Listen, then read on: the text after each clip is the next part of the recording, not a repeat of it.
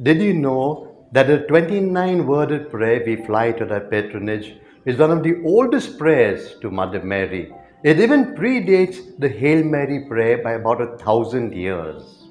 Crumbz from Gerard, Tuesday 3 Minute Reflections. The prayer We fly to thy patronage, O Holy Mother of God. Despise not our petitions and our necessities, but deliver us always from all dangers O glorious and blessed Virgin.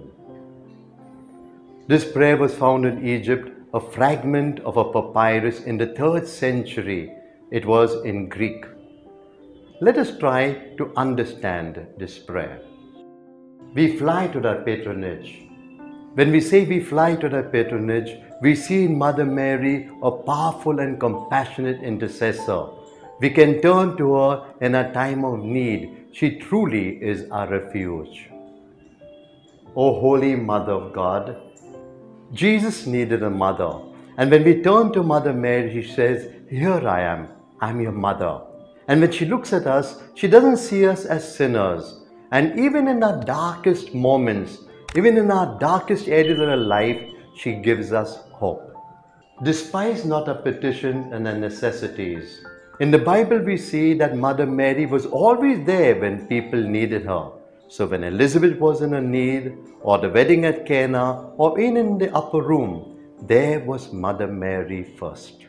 But deliver us always from all danger.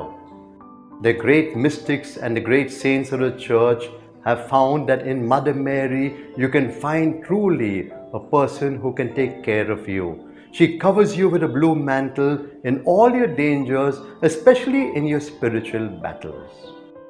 O glorious and blessed Virgin, in one of Pope Francis's sermons, this is what he had to say about Mother Mary. Mary, take us by the hand, gather us beneath your mantle in the tenderness of true love. We fly to thy protection, O Holy Mother of God. Again and again, Pope Francis has reminded us that at the end of the Rosary, to pray this prayer, we fly to thy patronage. And so let us pray it now. We fly to thy patronage, O Holy Mother of God. Despise not our petition and our necessities, but deliver us always from all dangers, O glorious and blessed Virgin.